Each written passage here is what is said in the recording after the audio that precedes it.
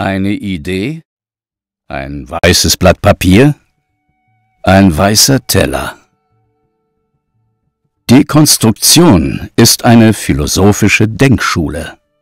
Sie vertritt die Idee, man müsse die Erscheinungen der Welt kritisch hinterfragen und in ihre Elemente zerlegen. Ob bei einem philosophischen Gedankengebäude, einem Auto oder einem Essen, das Prinzip ist stets dasselbe.